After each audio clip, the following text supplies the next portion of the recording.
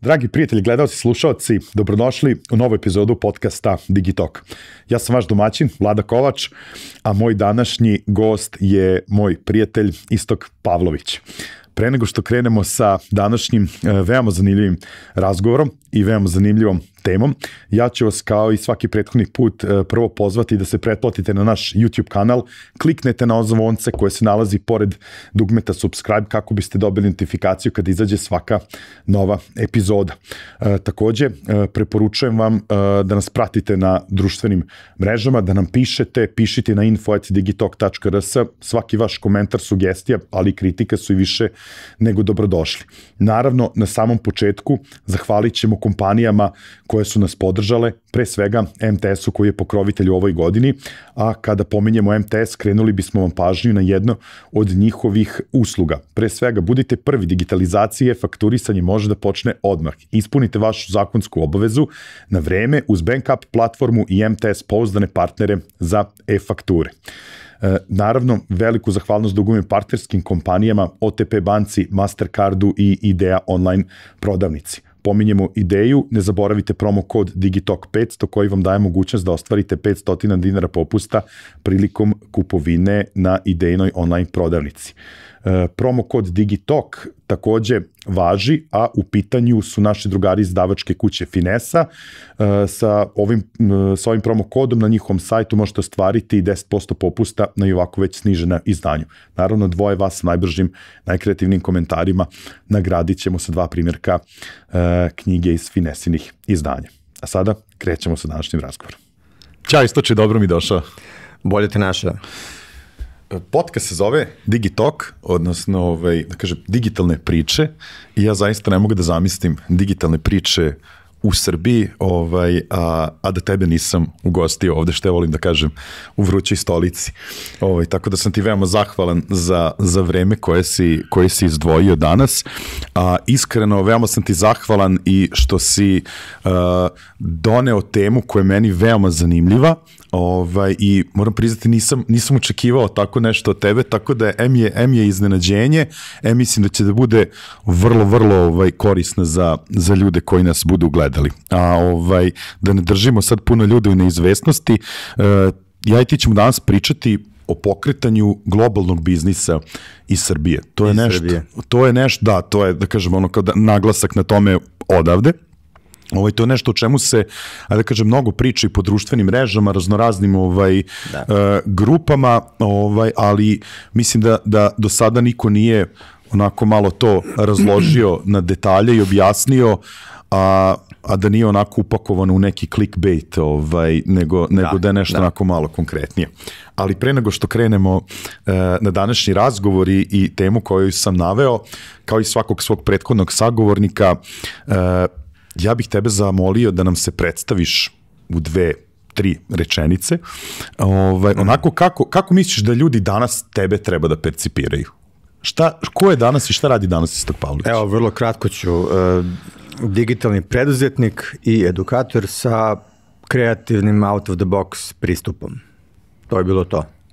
U, sjajno, izuzetno je. Ovaj, pa Mislim, tako ja sebe vidim. Da, da, da. I pretpostavljam da me tako vide i drugi, bar bih ja želeo. A, bar bi ti želeo, jasno, a, jasno. Mada, evo, juče sam baš radio neki Instagram uh, ove, story uh, anketu i kao koji su tračevi o meni i bilo je puno njih, kao čuo sam da si ono, prevaran, predavac, magle, plagijator i ostalo. Ali da, eto, tako percipiram sebe. Sjajno. A dobro, ovaj, ovo, je, ovo je zemlja Srbija ovaj, i prosto ljudi vole na društvenim mrežama da se, da sajde da kažem, na, na, da peca i dobro, ti nekad znaš onako malo, malo i da, da, da, ovaj, da provociraš. Ja negde kapiram yes. da ti to radiš iz razloga prosto da kako da kažem da bi opipao puls ono ovaj te te neke ovaj tih nekih ljudi koji koji su na, ono da, da ti to više kao neka vrsta istraživanja da. ovaj nego da sad je to sad namerno i da da ti to treba ono u životu ali pa znaš šta e, što se tiče mog nastupa na društvenim mrežama konkretno a, tu dosta stvarno eksperimentičnim pogotovo na Twitteru a, ponekad napišem nešto što stvarno ne mislim, samo da vidim reakciju ljudi i tako dalje. Ove, a i kontam da je ljudima dosadno malo, znaš, pa kao, hajde ne bude dan zabavan dan, da napišem neku glupost i onda ovaj, imaju čemu da pričaju danas, na primjer. Ja, sjajno. Pazi, ono što ja mogu da potvrdim, ovaj, koliko sam ja o, na ajde da kažem na digitalnoj sceni i, i ovaj deo zajednice e, ti si tu da kažem daleko daleko daleko pre mene ali ono ovaj ja mogu samo da potvrdim prvo da si ti uvek bio neko ko je tu da da podršku, da da savet, e, da si se uvek e, rado odazivao na sve pozive ono za, za predavanja i da stvarno ono svoje znanje deliš nesebično. Tako da to je ono, da kažem, moj neki ugao gledanja na, na ono što ti radiš, a ovaj... Pos, Ništa, ništa. A posebno, eto, poslednjih ono par godina mislim da ste, da ste ti Ivan Bildi za, napravili pravu revoluciju kada je u pitanju ta online edukacija i, i master box ovaj, da. i da to predstavlja zaista jedan uh, velik, velik stepenik, da kažem, u razvoju te online edukacije u Srbiji, da ste tu nekako da. neprikosnoveni. Tako da, sa te strane, ono jedno izuzetno veliko poštovanje ovaj, imate, imate Hvala, od mislim, nas. ja jednako poštovanje delim i prema tebi, naravno, uh, ljudi koji ti prate uh, znaju koliko si ti doprineo za razvoj svih ovih stvari kod nas i tek ćeš doprineti, tako da s te strane mi je drago da sedimo danas ovdje i pričamo o jednoj temi koja je verovatno važna za eto, sve ljude uh, koji nas sad slušaju po svojim automobilima, na, na trakama, u teretanama ili gde već slušaju ovo. Pozdrav za sve vas šta god da radite trenutno i uh, tema je jako važna. Apsolutno se slažem, ovaj kao što sam rekao, dosta se priča ovaj po ovaj po društvenim mrežama, ima dosta toga onako što je što kažemo ovaj catchy, clickbait i tako dalje. Ovaj ali ajde ti si tu već krenuo nešto konkretno da radiš. Uh, spomenuo si mi da si osnovao jednu novu uh, jednu novu Facebook grupu da. uh, i sa da kažem tim nekim ciljem da edukuješ ljude šta se sve zapravo može raditi uh, online da. a da nije dropshipping. A da nije dropshipping, a da. da nije dropshipping. Ovaj, I ti si meni rekao da ima kao još najmanje 50 ono nekih, uh, nekih vrsta online biznisa koje se može raditi iz Srbije za ceo svet tako je, tako i, biti, i biti uspešan. ovaj, da se mogu raditi, nego za svako od tih 50 stvari ja znam ljude koji sede ovde, da li u Srbiji, u Bosni, u nekom malom gradu i to rade. Uh, ove, Razlog što sam napravio tu grupu je što uh, po ko zna koji put sam negde video te priče o dropshippingu, od kojih mi je više muka. Uh, mislim, nije da je dropshipping sam po sebi loš, ali loše je to što ljudi ovde ne znaju za nešto drugo. Uh, ne znam kako je ovde kod nas uh, sinonim za online biznis uh, postao taj dropshipping. Ove, ali uh, ja sam delom krivac za to, jer sam prvi napravio neki tekst o tome koji je postao popularan. I vidim da, znaš, sedim u kafiću i sede neki klinci iza mene, recimo njih petoro i pričaju kao, e, brate, uletit ću sad u neki dropshipping, uzeo sam neki kurs. I uh, slušam i kao, vidim da, ok, s jedne strane to je dobro, ali s druge strane loše je da ono, to bude, znaš, ono kao kad neko misli da je internet jednako Facebook. Da, da, e. da. Ove, tako i ovo, uh, vidim da ovde Mastin misli da je biznis jednako dropshipping, mislim online biznis jednako dropshipping, a ove, uh, šta je problem sa dropshippingom? Da bi se to radilo, uh, treba mnogo znanja marketinga.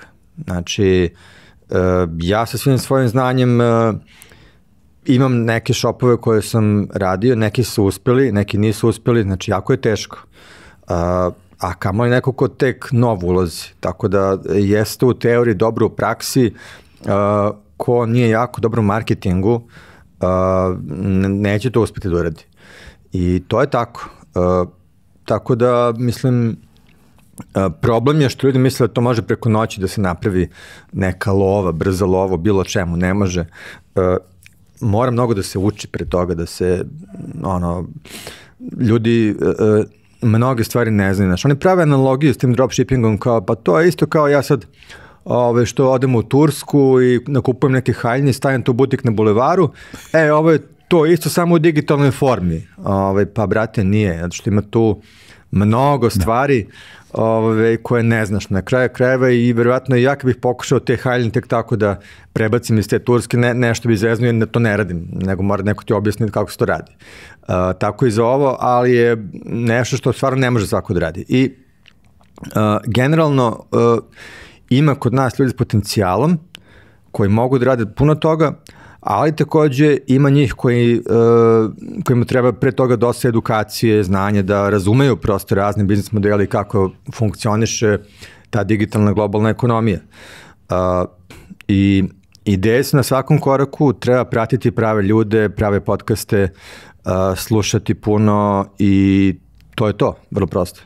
Ajde samo da zaključimo ovaj, taj, taj uvod i, i tu priču o dropshippingu.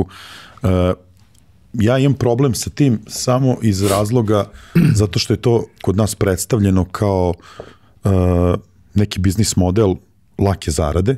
Da. Za, što ti što ti rekao ono kao zarade preko preko noći i što su mladi ljudi uh, danas vrlo povodljivi za takve stvari i ovaj lako se lako se primaju na te priče. E sad kao što si rekao iza svakog uspešnog posla treba da stoji uh, ajde da kažem, stotine i, i ako ne i ono kao hiljade sati neke, nekog učenja, neke edukacije, nekog truda i rada. Znači, to ovaj, postoje naravno verovatno neki izuzeci u smislu da, da nekog baš da ne kažem šta, ovaj, da, da ima sreće ovaj, sa nekim proizvodom, ali to je, da kažem, to je kratkog daha, to je kratkog daha, daha da. i to su izuzeci. Jeste. Ovaj, uh, sama ta filozofija uh, recimo u tom e-commerce biznisu tog nalaženja viner proizvoda je, e, to je kao da, da zabodeš na kladionici. Znači, isto i ovo kao ljudi jure da zabodu neki viner proizvod. Mislim, najuspešniji uh, ti e-commerce biznis koje ja znam, oni se uopšte ne zasnivaju na tim viner proizvodima. Nego ljudi rade dugoročno, ljudi su rankirali svoj shop na Google-u Znači, ne rade uopšte Facebook ads i, i to što dropshipperi pričaju treba da se radi, Ove, nego radi taj long term game. Ali šta je problem? Uh, ti ako kažeš ljudima, e, znate šta, realno za prve ozbiljne rezultate, rezultate treba godinu dana, dok vidiš prve pare od ovoga. To će ući u to onda jako malo ljudi. A ako im prodaš priču, e, vidi, brate, digneš sajt, nađeš viner proizvod, pustiš reklamu i pare stižu preko sutra, to će svako se upecati na te fore. I to je problem. Uh, long term game u ovom poslu, sad, nevezano da li je e-commerce ili nešto drugo, uvek se više isplati. Uh, ja ne znam da li postoji uh, uh, išta što može da donese ono brzu zaradu uh, na internetu. Osim to, ako nemaš sreće, uh, e sad, uh, ako ideš na tu sreću, onda ono, jedan dan uh, je super, drugi dan nije i to je jako nestabilno. Uh, čak i ako neko krene s tom srećom i s tim vinerima i šta god, uh, sav profit koji neko stekne na taj način treba da uloži u neki long term game.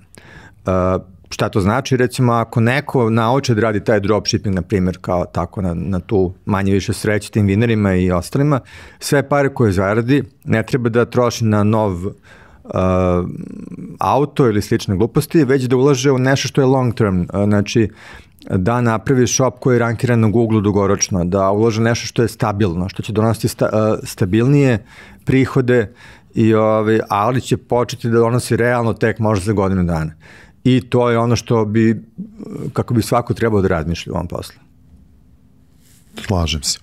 Ovaj, e sad, drago mi je e, što si rekao da ti je negde cilj ovaj, te grupe koju si osnao da dovodiš, e, da dovodiš e, ljude sa Balkana koji rade ovaj, neke online biznise koji, ajde kažem, eto, nisu nužno dropshipping, pritom su uspešni o tome, gde će oni pričati te priče, jer ja sam prvi negde ovaj, svedok, zaista znam puno ljudi koji rade takve stvari, ali su negde low profile. Yes, I, prost, jel yes. tako? I to, to je, da kažem, možda negde uslovno rečeno problem zato što nisu vidljivi, oni ne vole da se ne vole da se ističu. Tako je. Ovaj i onda zato i nemamo dovoljno takvih priča koje, koje mogu ovaj eto te te mlade koji hoće da rade tako nešto da ajde da kažem da da budu uzori da da možda pokažu i tako dalje, nego ih eto znaju pojedinci iz, iz zajednice, eto ti koji se dosta krećeš ovaj, i tako dalje, da je to možda, da kažem, negde da. Pro, što oni ne vole da se ističu. E, ali ima i razlog za to, znaš, evo, sam si rekao, uh,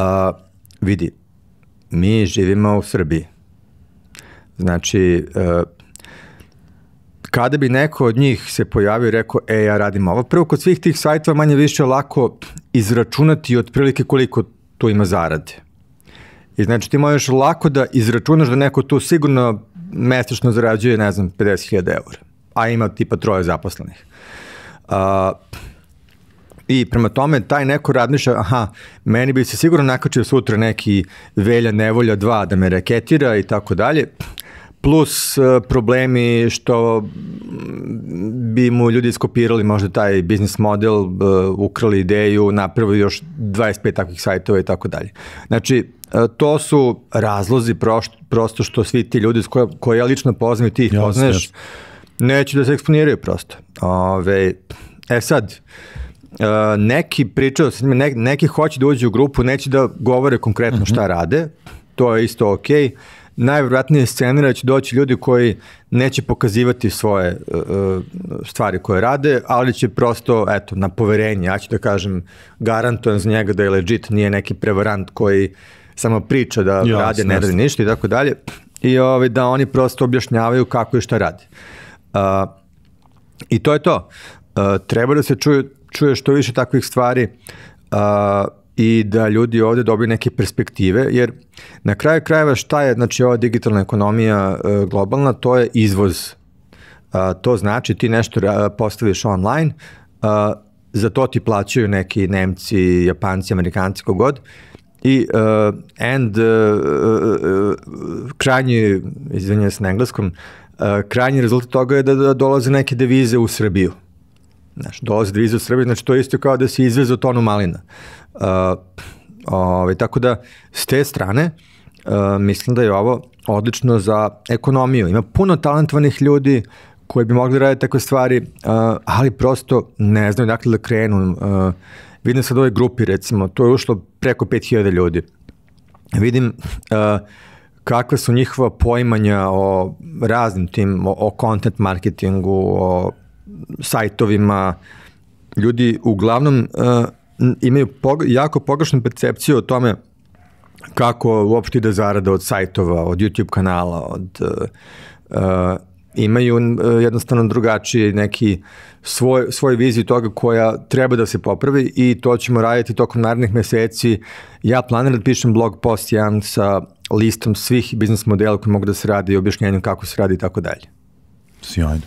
Ajde sad kad se već pomenuo ovaj digitalnu ekonomiju da krenemo sa tim nekim uh, uh, sa tim nekim uvodom uh, pomenuo si mi uh, Naval Ravikanta i njegovu filozofiju yes. digitalne digitalne ekonomije ovaj i koliko sam te dobro razumeo da je to ono najsluš da, je to podcast koji si najviše najviše konzumirao ovaj pa da i s razlogom jer sam dobio uh, sa strane uh, naš poznajem ljudi koji žive tamo u Kaliforniji u Silicon Valley uh, Nikola Božinović moji prijatelji Lazar Stojković i tako dalje i svi su mi rekli da je taj podcast postao standard prosto da je on sumirao sve što treba da se zna taj podcast koji traje 3,5 sata.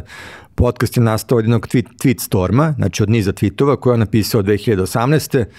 Uh, koje se zove How to get rich without getting lucky, znači kako se obogatiti bez da budeš srećan, odnosno što si rekao, bez da te, da, da. da ne kažem šta.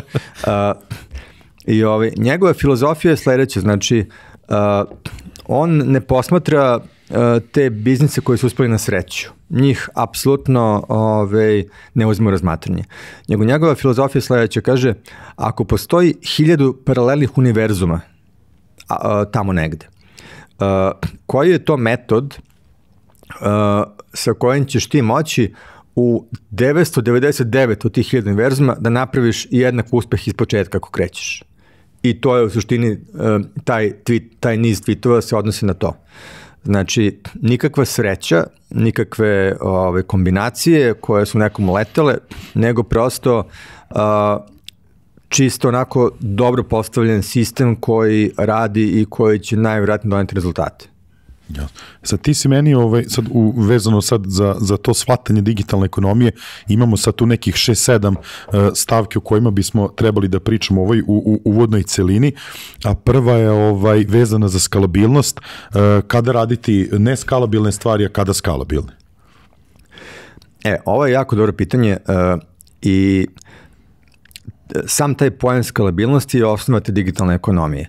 Uh, Ima uh, jedan odličan blog post, uh, mogu li da googlaju uh, Paul Graham uh, na temu skalabil, skalabilnosti, Paul Graham Scalability i on je tu lepo objasnio uh, po njegovom mišljenju uh, kada ti radiš neki startup, uh, šta bi trebalo da radiš što nije skalabilno, a šta što jeste skalabilno.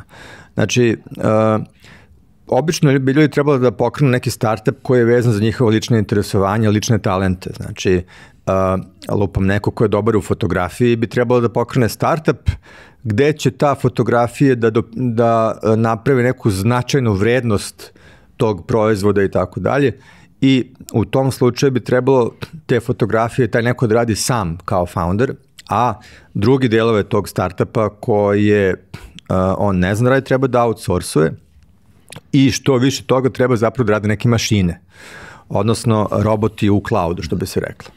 Uh, šta su roboti u cloudu? Znači, rob, roboti u cloudu su uh, serveri koji uh, rade neke operacije mm -hmm. 024, koje su setvorene da taj biznis uh, funkcioniše i konvertuje kupce kroz neke sales funnele, prodajne levke 024 uh, i uh, to je osnova tog nekog digitalnog biznisa, naravno.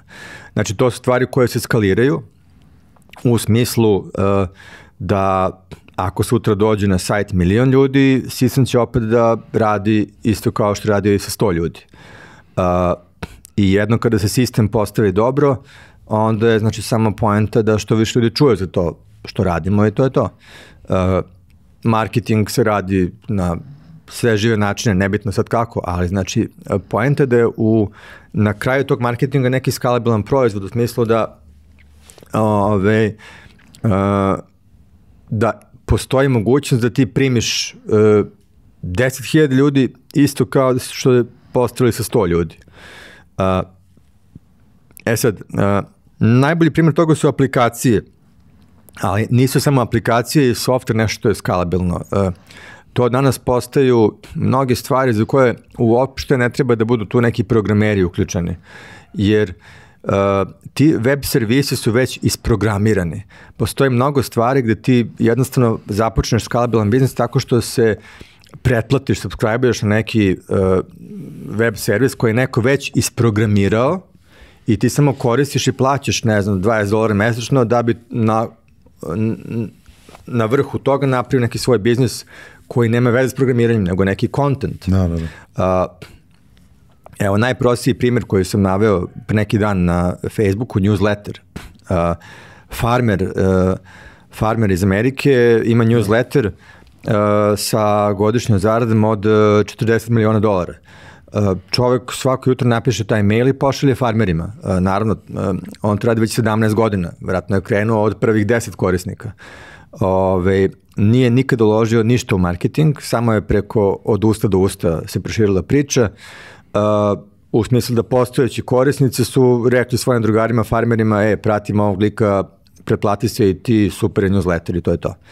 Uh, eto, znači, čovek vjerojatno koristi neki, uh, mislim da su baš rekli da koristi Salesforce mm -hmm. za slanje mailova, eto, znači, to je neki tamo software za slanje mailova, mislim, koji već postoji, samo treba da ga koristiš. Znači, postoje toliko puno stvari koje mogu da se rade, a koje su zapravo digitalne, a ne treba da budeš programer. I to je ono što ljudi, mislim, uh, uh, treba da razumeju. Znači, mnogi ljudi misle kao ja, ja se treba ovde nešto da učim da programiram. Znači, software je super biznis, ako je neko programer, super je napraviti takozvani SaaS biznis, pričat o tome, to je mhm. software as a service, ali ima uh, mnogo, mnogo više stvari koje mogu da radi ljudi koji nisu programeri, koji su neki kreativci i tako dalje. Mislim, i, i programiranje je kreativno, ali kreativci u drugom smislu. Jasno, jasno, jasno. Ovaj, o, to sam čitao, taj post vezan za farmera, to mi je skroz ono fenomenal, ali Da. koliko sam bio shvatio, mislim, on to prosto svoje znanje, ono neko, ne, neko deli, ono mislim, to Jeste. je... Uh, evo, nešto nisam rekao možda u, tom, u toj objavi. Njegov background je, ovaj, njegova porodica su farmeri. Uh, on je druga generacija, znači on se rodio u porodici gde su farmeri i on je sledio tu farmu. I uh, on je neko koga to ne zanima, znači neće se čovjek baviti zemljom i poljoprivredom, a s druge strane žao mu je da napusti taj uh, dugogodišnji porodični biznis. I kako je to rešio? Pošto voli digitalne stvari, to rekao je, ok, evo ja ću da budem uh, neko ko će da piše o uh, poljoprivredi i tako će da nastavim porodični biznis. Ove, naravno, farmu onda vode drugi ljudi i tako dalje. On je posle investirao, mislim, nije on, nije on neki bezvezi lik, on je uvezan, uh, njegov newsletter baš ima lista od, eh, od 500 tih kao Fortune eh, 500 kompanija, ne znam koliko ima CEO-ova, direktora tih uh, najjačih firmi koji prate njegov newsletter, uh, ljudi koji su iz oblasti koji nemaju nikakve veze s poljoprivredom, prosto prate jer je lik zanimljiv i hoće da znaju šta se dešava eto, u poljoprivredi jer to utiče na druge stvari i tako dalje. Sjajno, sjajno. E, reci, pomenuo si mi ovaj, u okviru ove prve celine, ajde da kažem, shvatanju te digitalne ekonomije i polugu digitalnih medija. Tako je. A, jedna stvar o kojoj Naval priča je ta poluga digitalnih medija, odnosno on to zove a, leverage na engleskom. Ne znam ta reč leverage kako bi se prevela kao to je neka snaga, sila poluge. Ove, Uglavnom svodi se na to da e, šta je poluga kod tih digitalnih medija, to je ta moć zapravo da e, da ti ako objaviš jedan uh, YouTube video koji je dovoljno dobar, ti dobiješ taj leverage, odnosno polugu, da imaš vidljivost u cijelom svetu. Eto, možda mm, u skorije vreme, dobar primer, je ove, u Rusiji, onaj, ona glavna opozicija Putinu, onaj Navalni, je objavio video uh, gde je uh, prikazao kako Putin gradi neku vilu tamo od milijardu eura, ne znam gde je tačno, i ovaj, napravili su sat vremena video o tome, sa snimcima, intervjuima ljudima koji su gradili i tako dalje. I taj video ima sada nešto tipa 200 miliona pregleda. Znači, video od sat vremena, nije video od 30 sekundi, 200 miliona pregleda. Ove, I recimo, taj jedan video je značajno uticao na e, percepciju e, vlasti i u Rusiji, van Rusije i tako dalje i tako dalje. Znači, to nije samo prodaja, to je i politički uticaj, to je i e, razne druge stvari koje mogu se postignu sa tom polugom digitalnih medija. Ti kad objaviš nešto dovoljno zanimljivo, to može da opre do beskonačno mnogo ljudi, odnosno do svih ljudi na planeti Zemlji. E, e sad, šta je jako bitno tu da se kaže? E, ove, e, to je jedna stvar koja meni bila kontraintuitivna i koju sam naučio dok sam živeo tamo u Kaliforniji jedno vreme u Silicon Valley. Znači, uh, uspešnost firme ili bilo kog projekta se meri po tome uh, da imaš što manje zaposlenih. Znači, to je meni bilo stvarno otkrovenje. Jer ja sam odrastao u Srbiji gde je paradigma ta da se uspešnost firme meri što većim brojem zaposlenih. Znači, e, brate Mišković zaposlio 2000 ljudi, a on je faca i tako dalje.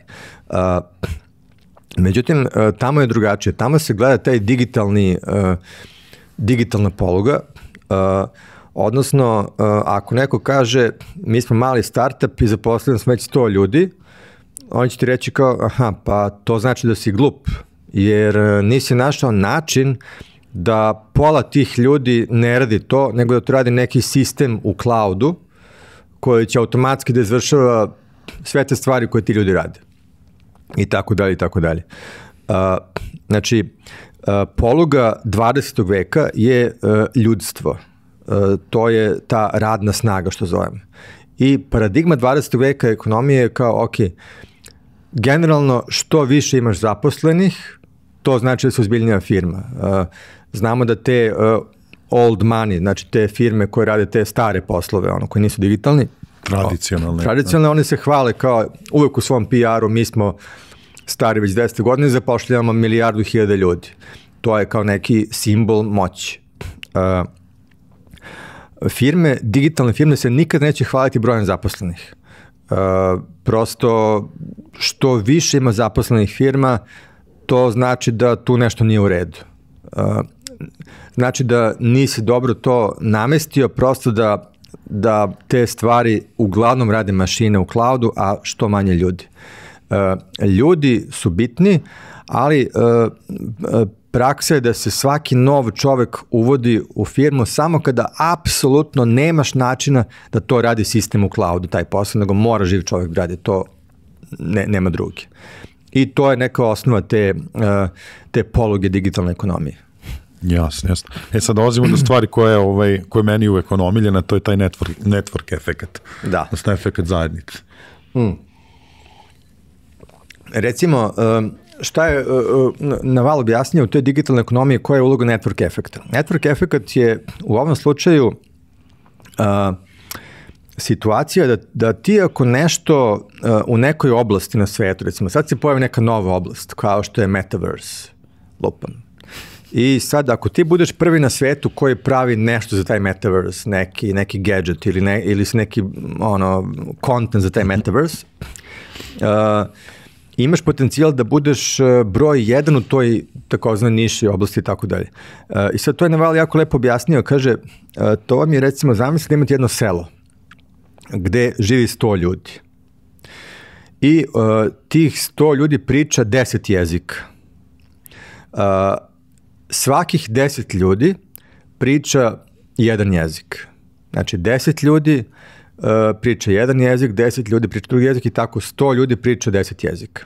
E sad, zamislite da uh, dođe uh, jedan, jedna nova osoba u to selo, to je 101 čovek. I taj jedan priča engleski. I sad ima u tom selu 11 ljudi koji pričaju engleski i 10 ljudi koji pričaju ove druge jezike po, po 10 u svakoj grupi. E sad, neko ko dođe nov u to selo, sto drugi čovek, on će da kaže ovako, koji jezik ja da učim da bi se sporozumao svojim ljudima? A ako naučim engleski, mogu da se sporozumem sa 11 ljudi, a ako naučim, ne znam, švedski, mogu da se sporozumem sa 10 ljudi u ovom selu. Naučit ću onda engleski. I on nauči engleski, tako ima 12 njih koji govore engleski.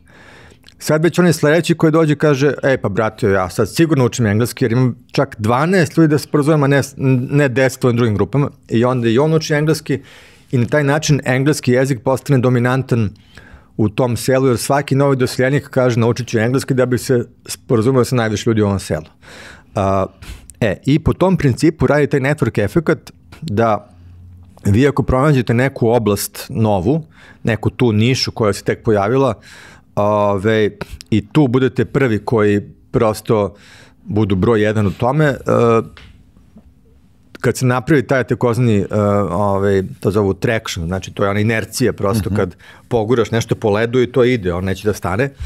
Ovaj onda je jako lako da se to održava dalje, prosto to samo klizi, samo ide. E, i, I to je jako važno da se prosto razume.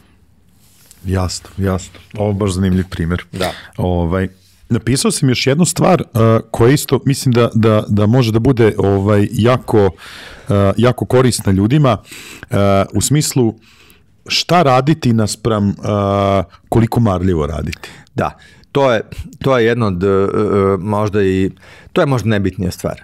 Uh, jer ima puno ljudi koji rade marljivo. Znači, raditi marljivo uh, je jedna osobina koja, ljudska koja uh, se ceni, ja je cenim isto kod ljudi, uh, ali je takođe uh, jako tužno kad vidiš da neko radi marljivo nečemu što je pogrešno. Prosto uh, nije nikada istražio tržište za to ili ne znam, iz, iz ko zna kojih razloga je počeo da radi na mhm. tome, ove, a nije nikada zapravo razmislio da li to ima smisla ulagati vreme u to ili možda bilo bolje da to, da to se malo drugačije postavi i tako dalje. Znači, generalna paradigma u tom svetu digitalne ekonomije je da je daleko najvažnije šta radiš. Znači, a, a, ako neko uzeo i iskopao pravu ideju posle mnogo, mnogo meseci razmišljanja, istraživanja i tako dalje, onda može da ustaje i u 9 i u 10 i da radi ono dnevno 5-6 sati sasvim dovoljno, ne treba više i to će da uspe. Ove, a ako neko uzradi pogrešnu stvar, onda može da radi uh, 50 sati dnevno, to jednostavno ne, ne može da uspe. Znači, uh, šta se radi je daleko najvažnije to mislim da treba bude jedna velika poruka da se ljudi zamisle. Recimo, u ovoj grupi koju sam napravio, uh, znači to pokretanje globalnog biznisa naših prostora na Facebooku, uh, mnogo ljudi i tako dođe i kaže, e, ja imam ideju kao da, ne znam, pišem blog o kuvanju, šta mislite? I onda se pojavi njih pet koji kažu, ja, super, samo kreni. Uh, a ja čitam, se kao, i napišem naravno, nemoj, Uh, molim te istraži nešto drugo, to što radiš ima već milijardu takvih sajtova, nećeš nikad probiti. Uh, nemoj tako olako da razmišljaš pet minuta o tome što ćeš da radiš i kao kreneš. Uh, jer to nije zezanje, to je odluka u šta da uložiš svoj život i svoje vreme. Mislim, to je, to je jako ozbiljna odluka. Ono, ljudi previše olako ulaze u stvari. Uh, prvo treba da se nauči, mnogo edukacije treba, istraživanja, tržišta i tako dalje i tako dalje da bi se ušlo u nešto. Jasno, sad kad si pomenuo ovaj, uh, u, u učenje, uh, pomenuo si specifično znanje. Tako je. Uh, moje mišljenje je da uh, su specifična znanja zapravo jedan od ključnih uh, puteva ka nekom uspehu u ovom poslu. Uh, šta su ta specifična znanja? Pa uh, činjenica je da svake godine se pojave ove, neke nove tehnologije, nove stvari, gde prosto nema nikoga ko to radi. Nema, kon, nema sadržaja za, za to novo, nema uh, coachinga za to novo, nema niko ko to radi. Znaš, uh, evo, lupam, uh, sad se pojavio Metaverse i priča o Metaverse-u. I ove, svi pričaju o tome, a niko to zapravo ne radi. Ja kažem, evo, uh, uzmi i napravi, na primjer, e, e, konferenciju Metaverse. Uči firme kako da prave konferencije u nekom VR-u. Budi coach za to. Napravi dve, tri konferencije da vidiš prosto kako se to radi tehnički uh, i sve ostalo. I onda uh, nudi, tu, nudi tu uslugu firmama širom sveta koje hoće da budu viđenje kao moderne, kao da oni prvi u svojoj oblasti rade metaverse konferenciju i tako dalje. Znači, to je samo jedan od primjera. Jel ti to meni ovaj savjetaš da krenem da radim konferenciju metaverse? pa ne, ne, ne, e, mislim, što da ne, evo, ako hoćeš, možemo zajedno radimo na tome, meni je to baš interesantno. Ove, ali hoću da kažem, I uh, to, je, to je to specifično znanje. Znači, uh, kako se prepoznaje specifično znanje? Pa, uh, prvo šta nije specifično znanje? Čim, čim za nešto postoji stotine i stotine i stotine kurseva na raznim platformama i tako dalje, to nije specifično. Nije specifično, znači nešto može svako da nauči na stotinama drugih kurseva, to više nije specifično. Uh, specifično mora da bude nešto, znači ili neka nova tehnologija koju još niko nije uzeo da istraže kako se to radi nešto i neka nova vrsta kreativnosti. Znači, neka nova vrsta kreativnosti koja je samo tvoja lična i koju ti onda uneseš taj pečat u neku oblast. A, e, to su specifična znanja, znaš. Ja sam recimo počeo da se bavim ovim stvarima u Srbiji još 99. godine, jer sam uh, prvi u Srbiji tada radio uh, flash sajtove Ove, I ne znam, evo, to, e, e, tu ideju o specifičnom znanju sam tek skoro čuo da to postoji kao koncept. Ja sam to sam provalio. Znači, vidim kao, ok, ovo niko u Srbiji ne zna da radi. Niko. A vidim da postoji potražnja i ta potražnja je isključivo od firme koje imaju jako, jako puno para da plate. Ja ću da naučim to onda. Neću da naučim da pravim običan sajt koji, koji ovaj, ima njih još milijardu koji to rade, kako ja to da se izdvojim nikako, razumeš, mislim. I, ove, I onda sam uzeo da učim to što je nešto specifično jako i tako sam ja počeo u ovom poslu da se probijam, prosto uh, bio sam prvi koji to radi uh, i to što radim bilo je jako impresivno jer je nešto što je tehnološki napredno, pa onda kad sam napred, to se pročuje po gradu koje vidi kao šta rade ovi ljudi kao naši, jao, kako je dobro i tako dalje. Znači, uh, I to je bilo to moje specifično znanje koje me lansiralo dalje. Uh, tako da to je, to je jako važno. To se sećam, tog loženja na Flash početkom 2000-ih, da. to je bilo, ovaj, mislim, ja prvi, ono, u tim nekim prvim organizacijama koji se radio, kao ne, sajt radim, bro, samo u Flashu, to je jedino da. što, što treba da bude. E, ovaj, imamo još dve stavke vezane za, za upravo celinu gde se, da kažemo, bavimo objašnjavanjem ovaj, kako funkcioniše danas ta digitalna ekonomija. E, naveo si mi, e, naveo si mi stva, stavku vlasništva u digitalnim medijima naspram vlasništva u kompanijama. Jeste. Na što si tu mislio? Pa vidi, e, to je jedna e, interesantna stvar o kojoj već dugo razmišljam kao konceptu, znači a, pitanje je ovde e, ko je više vlasnik čega, znači na primjer, ti si sad poznati youtuber ili poznat si generalno u nekoj svojoj oblasti po nečemu. A, s druge strane, svako od nas može da bude vlasnik ili suvlasnik u nekoj firmi. E sad, Mislim da to vlasništvo u firmi ima smisla kada se gradi brand neke firme. Pa sad kao, uh, ako je ideja da se gradi brand uh, prosto neke firme, onda treba biti tu u nekom tom što kažu equity, znači nekom suvlasništvu, da bi uh, trud koji ti tu ulažeš kao neko ko gradi zajedno s drugim ljudima, bi ima, ima uh, prosto neku na papiru vrednost ako se mhm. -huh. ta firma sutra prodaje ili tako nešto. Ali druga, i to je svima manje više poznato, ali druga vrsta vlasništva danas je vlasništvo nad tim ličnim brendom. Prosto, znači, uh, ako si ti izgradio svoj lični brend, sutra da ako i, i ta firma kao firma, ne znam, propadne ili dođe do nekih problema ili tako dalje, uh, onda uh, vlasništvo na ličnim brendom je nešto što nikom od nas ne može niko da oduzme. I uh, mislim da svako danas treba da gradi vlasništvo nad tim, tim svojim ličnim brendom, jer je to neka garancija da, uh, da će to što radiš da dugoročno ima smisla i ne može niko da ti oduzme, znaš. Ako je neko uh, prepoznat kao ekspert, ekspert u nekoj oblasti, to je nešto što niko ne može da ti oduzme, čak i da ti, ne znam, sutra Instagram banuje profil, šta god da se desi, uh, ti ljudi se vrlo brzo vrate, ono prosto nikakav problem i tako dalje.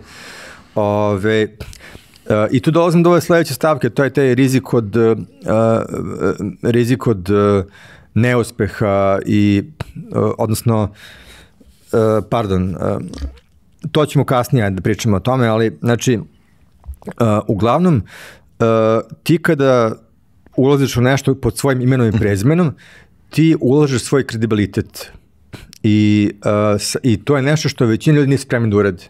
Jer ima taj strah od neuspeha i šta ako to sve propadne, a ja sam svojim imenom stao iza ovoga, to je onda problem.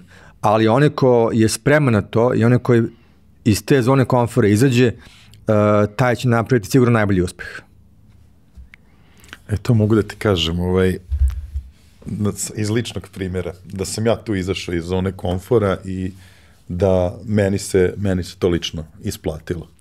Pa, ne mogu da kažem da sam verovao od početka, znaš, ono, ali stvarno ono kao snaga ličnog brenda je ovaj, da, da. nadmašila neke, neke druge pa, stvari. eto, ti, ti si možda najbolji primjer za ovo što govorim, znaš, uh, sad, da ne ulazimo u detalje, ali uh, mislim da danas svako od nas treba da gradi taj svoj lični brend, jer to je garancija da firme dolaze i prolaze, uh, firma će ili ćeš da je prodaš ili će da propadne ili će se posleđaš sa osnivačima, šta god, ali e, tvoj lični brand ostaje dugoročno, znaš.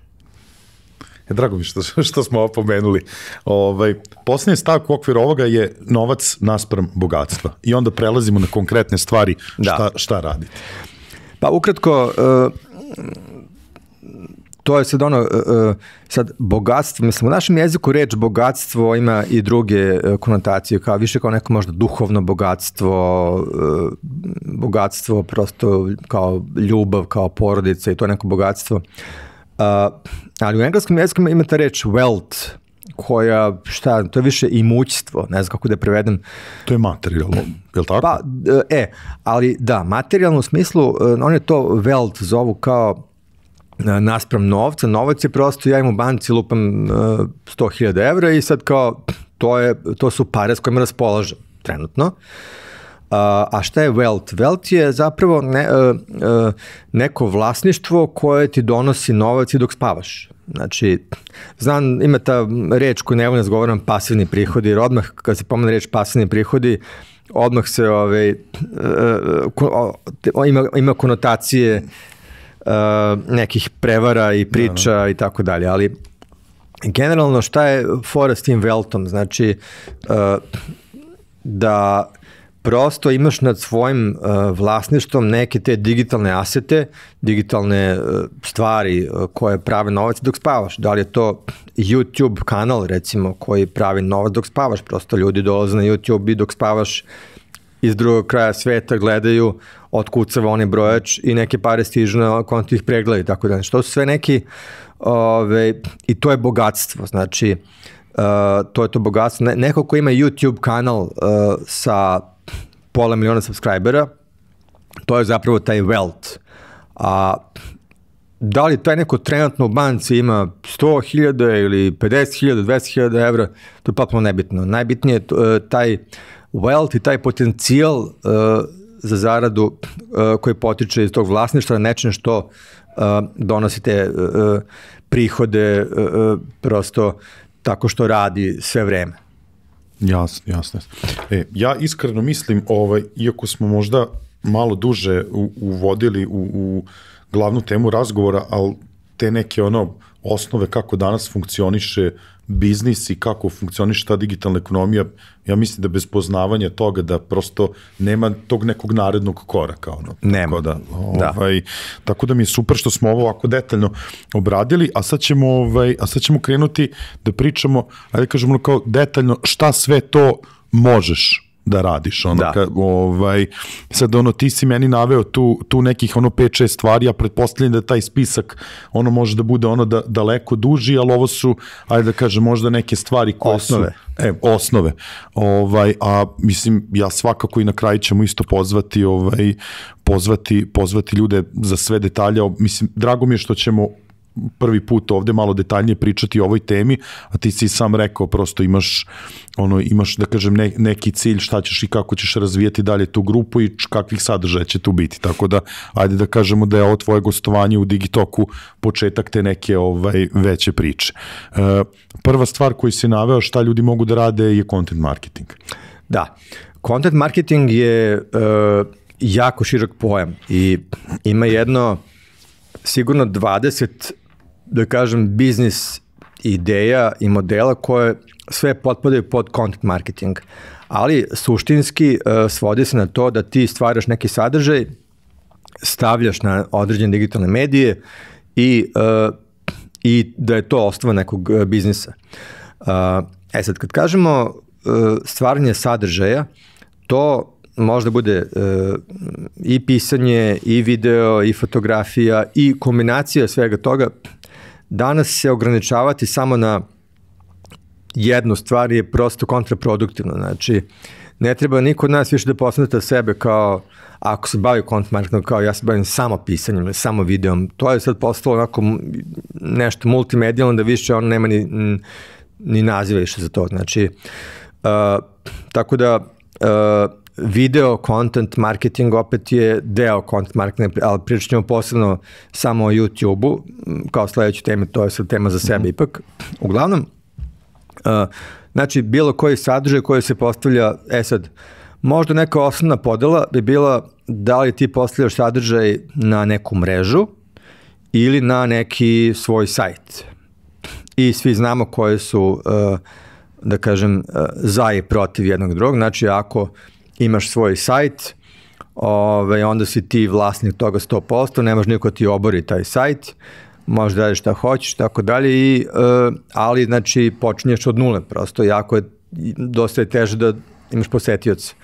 A ako počinješ na nekoj mreži koja već ima ljude, kao što je YouTube ili kao što je Instagram ili TikTok, uh, onda je dosta, dosta lakše da preko noći napraviš ogroman uspeh i da imaš puno pratilaca i tako dalje. Pogotovo na TikToku recimo. TikTok je danas mreža gde uh, najbrže može ono from zero to hero. Znači da kreneš danas sa nula followera i ako napraviš bukvalno jedan jedin interesantan klip, imaćeš sutra milion followera. Naravno, to se ne dešava svakom, ali to je samo na TikToku moguće. To nije moguće na YouTube ili na nekoj drugoj mreži. Ove, zato je TikTok, sad postao popularan, jer svi tu vide opet neku mogućnost da na toj lutriji zabodu i da oni budu taj viralni klip koji će da preko noći postane poznat.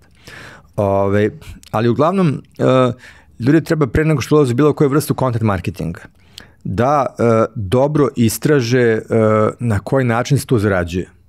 Ja sam recimo u šoku kad mi se jave ljudi koji recimo već dve godine gure neki sajt iz neke teme i kad ih pitam dobro, a, pa jesi li istražio kako ćeš da zarađuješ, od čega se taj sad zarađuje. I oni mi kažu, pa ne znam, stavit ću neke banere. I ja kao, da li me zezaš? znači, uh, e, to je ona stvar, uh, jedna stvar koju, koju stvarno vidim da je veliki problem. Znači, pre nego što ljudi ulazi bilo koju vrstu content marketinga, treba jako dobro da istraže uh, kako će to da naplaćuju. Znači, content marketing je nešto gde ako to u startu nisi definisao i kreneš pogrešnim putem, to će za ovek da životari na tako, mislim, bit će, uh, znači, uh, čovjek treba prvo da se zapita, ok, uh, koja je to oblast u kojoj ja recimo znam uh, puno ljudi iz biznisa gde bih mogao da dovedem možda neke sponzore ili da napravim neke dobre dilove. Uh, pre nego što, ulazi, što se ulazi u content marketing, uh, Drugo, ovaj, ako nemaš nikakve kontakte, onda ok, uh, istraži iz te oblasti uh, deset njih koje to rade i dobro istraži kako oni zarađuju. Znači, ako vidiš tamo neki sajt koji kažeš, ok, ja hoću da budem uspešan kao ovaj, pa nek dogoram i do 10% njihov uspeh, super, ok. Istraži kako oni zarađuju. Znači, uh, to što ti otvoriš sajt pa kažeš, aha, imaju neke reklame, znači tako zarađuju, to, to nije istraživanje, to je tako mali period se zamišlja. Znači, mora da se otvori svaki članak na tom sajtu, da se klikne na svaki link na tom sajtu, da se vidi da li je to affiliate link, kuda vodi, pa onda procena, aha, da ako su rankirani na Google za ovo, koliko je to prilike dnevna poseta, odeš pa istražiš koliko je dnevna poseta sajta preko tulova kao što je Similar Web ili slično, pa kažeš, aha, ok, ovo ima na sajtu dnevno uh, 200.000 poseta, uh, pa otvoriš recimo tulove kao što je Ahrefs, da vidiš da šta su rankirani konkretno, kažeš aha, ove su rankirane za how to, bla, bla, bla, vidim tu su prvi na Google, znači ovdje vratno imaju za ovaj keyword 10.000 posta dnevno, a za ovime 5.000 dnevno, uh, imaju ovde affiliate linkove, prosječna konverzija bi bila za ovu nišu uh, 1 u 100, staviš na papir i kažeš, ok, nakon nedelju dana istraživanja, moj zaključak je da ovaj sajt pravi uh, oko 100.000 evra mesečno, a ovaj drugi sajt pravi 30.000 evra mesečno i tako dalje. Znači, dok to nemaš na papiru kao jedno jako, jako detaljno istraživanje, ne počinješ content marketing. I to je to. Uh, I to je stvar koju ljudi ne urade.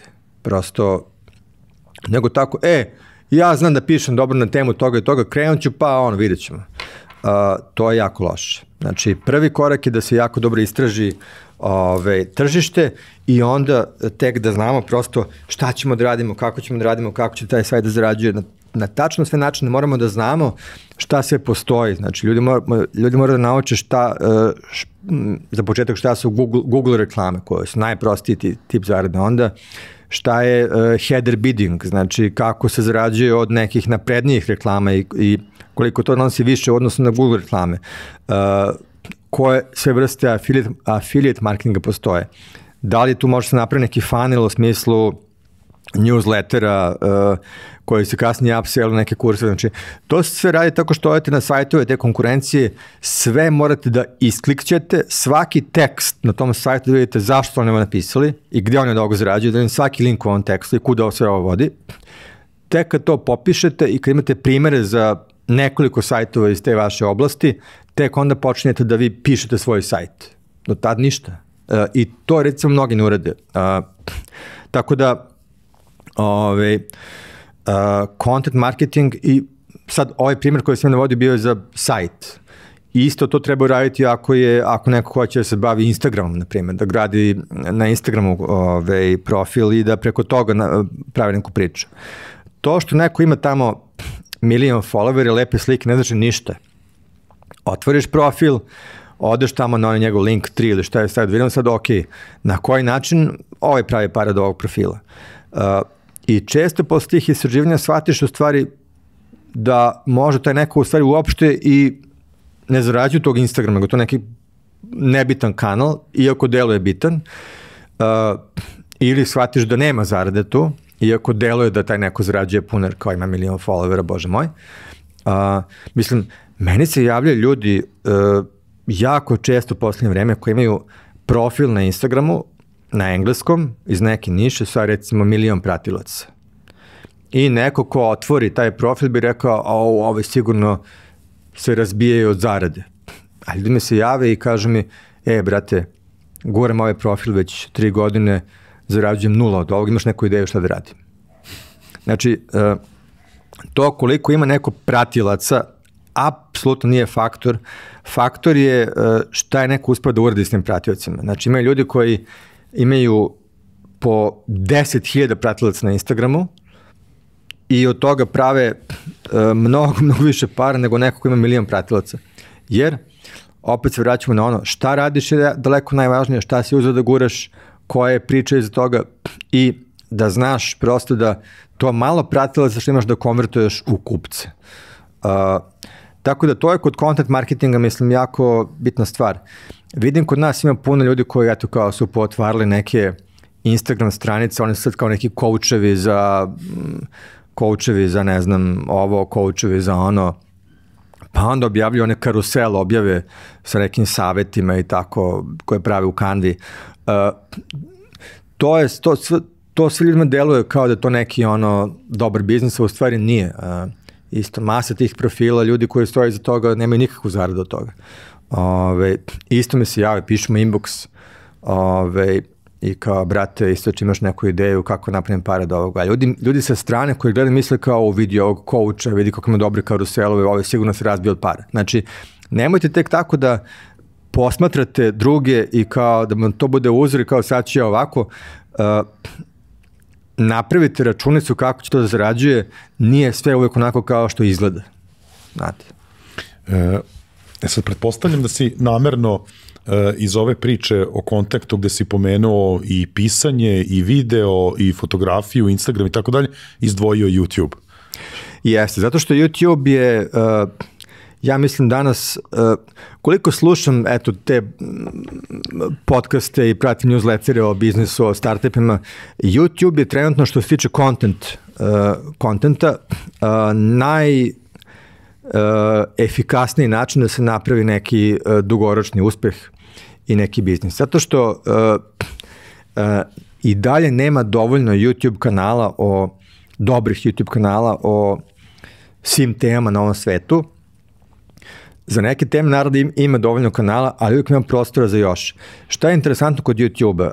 Uh, nije isto kao uh, sa blogovima i sa tekstom gde Ako već postoji 10 sajtova iz nečega, ti kažeš pa sad ja da budem 11, je to problem jako je teško. Uh, na YouTube-u, čak i ako postoji iz te oblasti njih 10-20 koji su već se ove, uh, kao pozicionirali, uh, ti ako se pojaviš nekim novim uh, pristupom, i, uh, imaš novi, novu ličnost, prosto uh, na neki nov duhovit način obrađuješ te teme, ti ćeš da se pozicioniraš kao neko zato što uh, čak i da ne pojavljaš svoje lice, ima, ima ljudi koji ne žele da se pojavljaju svojim licem na YouTube, to je isto okej, okay.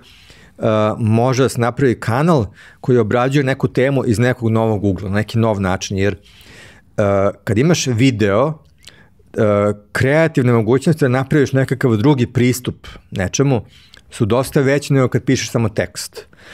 Inače, kad smo kod toga, ono što ljudi treba da znaju da je uh, zapravo za, za uspeh YouTube kanala opet ipak najvažnije dobro pisanje. Zato što jednom kada se nauče ove stvari oko svetla, kamera, mikrofona i ostalo, i kada se prevađe taj tehnički deo, onda opet ove, glavni problem ostaje ok, šta da pričam. E, ili ako ne pričam ja, nego se prikazuje neka grafika i tako dalje uz neki glas i to je ok, ali znači sadržaj, šta da se priča u tom videu, to je najvažnije. A kako to nastaje? Pa tako što se otvori jedan Google, Google Doc i tu se piše scenariju. Znači na kraju svih krajeva opet YouTube kanal se, dobar YouTube kanal se svodi na dobro pisanje. Uh, to je jedna bitna stvar koju ljudi treba da znaju, pošto ima puno ljudi koji dobro, dobro znaju da pišu, ali kažu, a pa ne mogu ja YouTube, ja sam pisac.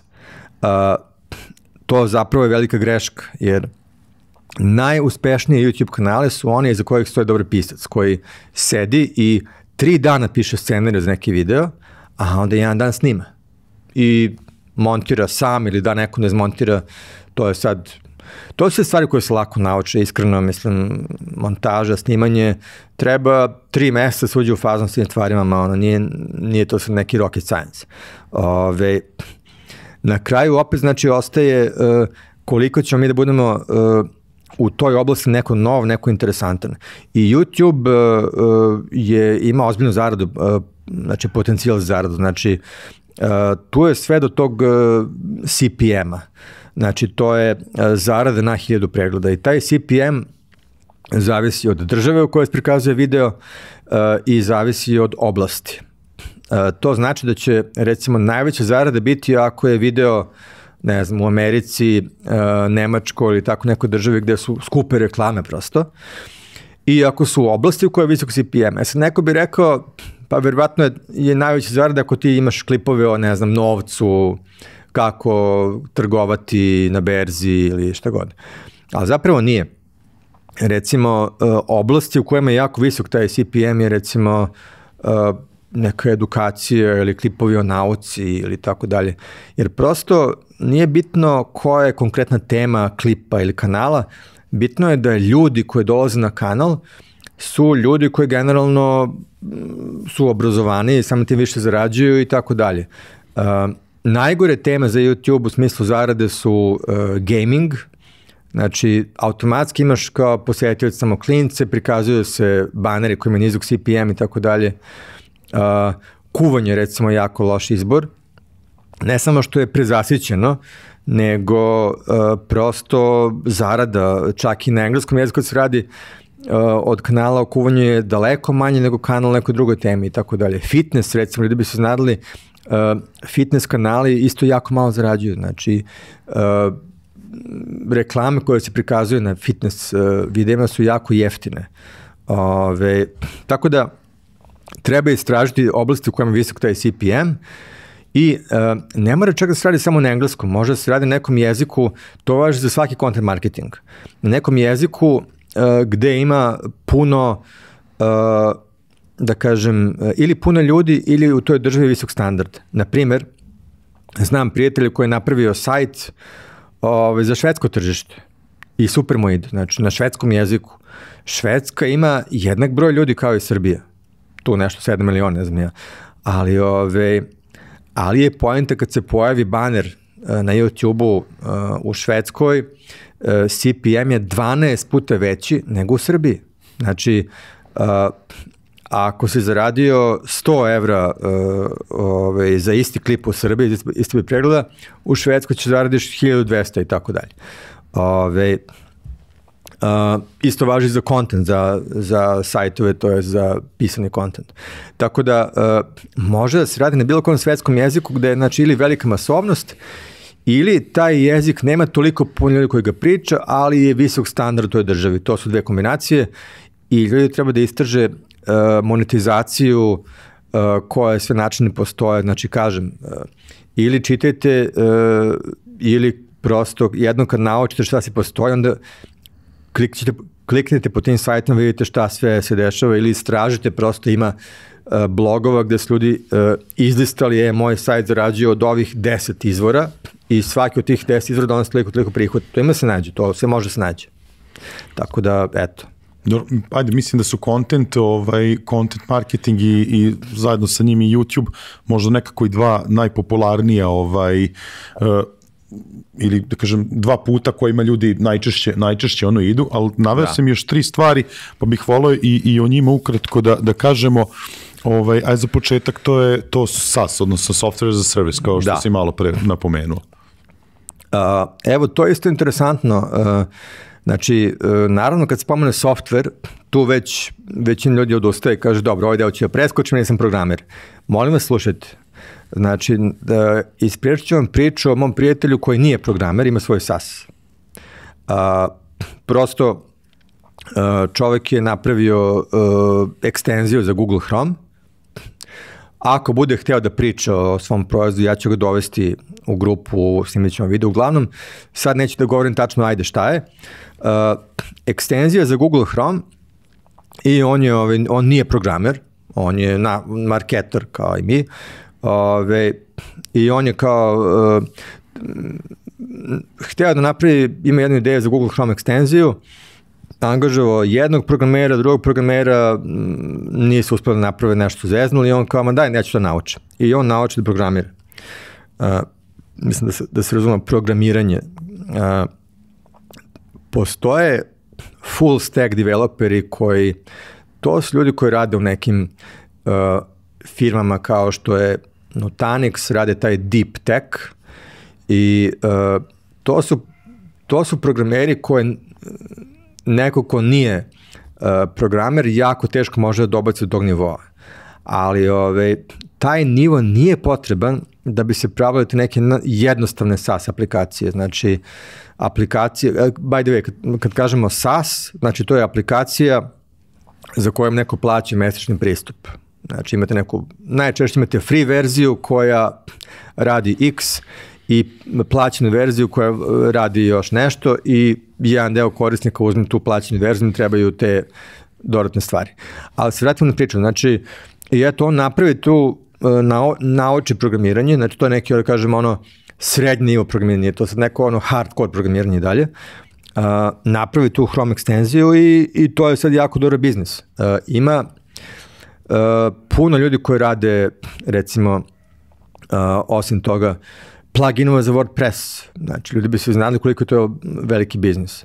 Uh, isto, ne treba da bude ništa sad to komplikovano. Znači, ja mislim da bih ja sa svojim znanjem programiranja koje je ono jako jednostavno, znači znam nešto malo JavaScripta i PHP-a, uh, bi znao da napravim WordPress plugin koji radi nešto što treba mnogim ljudima, ali ove, ovaj, ne postoji trenutno, ili postoji, ali radi loše, uh, i tako dalje. Ove, kažem radi loše, nije samo tehnički, nego uh, uh, tehnički čak nije, nije problem nešto napraviti danas, nego je uh, najveći problem taj user experience više.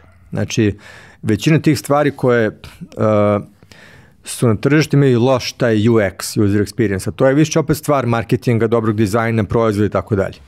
Ove, uglavnom postoji uh, prostor da se radi puno tih uh, ove stvari, uh, znači naveo sam recimo WordPress pluginove. Drugo, bilo šta što je sad novo, a trebaju neke aplikacije, za recimo Shopify, uh, aplikacije za Shopify koje rade neku sitnicu koju većina ljudi ne zna da uradi ili ih mrzi da radi. Znači, postoje, ja sam vidio aplikacije koje prave ljudi ozbiljne pare sa nečim što dodaje jedno dugme koje realno je da se copy-pastuje jedan, jedna linija koda negde, razumeš? Ali ljudi to ne znaju da urade i plaćaju 10 dolara mesečno za aplikaciju koja to radi. Uh, znači, skandalozno je šta ljudi naplaćuju kao aplikaciju i prave od toga, ne prave milione, ali prave mesečno po 5000, 10.000 evra, što je super biznis. Ove, tako da, uh, to je jedna, uh, znači sve što je novo i neke aplikacije za to, to je, uh, evo vidim sad Canva recimo je objavila da će imati dodatke za Canva kao mogli da prave neke dodatke za Canva koje rade neke stvari koje Canva ne radi i tako dalje. To je isto velika sad uh, jedna prilika koju treba istražiti i tako dalje. Znači, sve što je kao neki dodatak za nešto što već postoje, gde postoje korisnici, to je super ideja. Uh, Ili ako se radi nešto od nule, uh, opet kažem, to ne mora biti neki hardcore software, nego nešto, neku najprostiju glupost. Recimo, vi ako rankirate sajt na Google, daću vam naj, najbanalniji primjer, uh, lupam, character counter, znači brojač karaktera. Uh, ono što, i to sve, to se da istražiti na keyword toolovima, znači koliko ljudi dnevno ukuca character counter.